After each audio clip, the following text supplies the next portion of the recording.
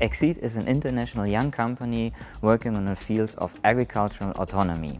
We develop, produce and sell robots and including software. That means we provide to farmers and contractors a complete autonomy ecosystem.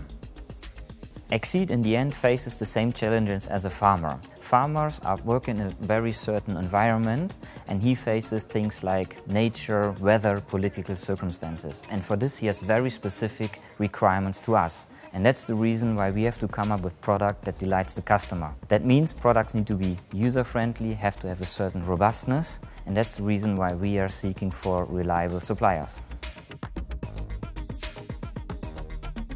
We have been working with Harting since the start of the project, so that's now about five, six years.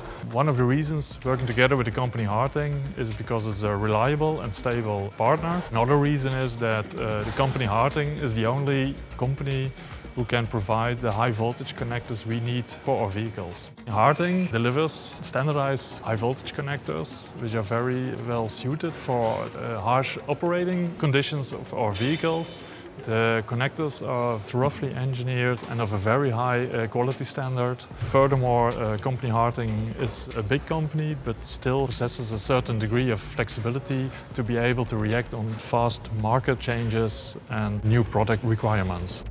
We hope uh, with the company Harting that we have found a reliable development partner and that we will have a fruitful cooperation together and that we can work on, uh, on new uh, innovations which come along with the increasing uh, product requirements out of the market.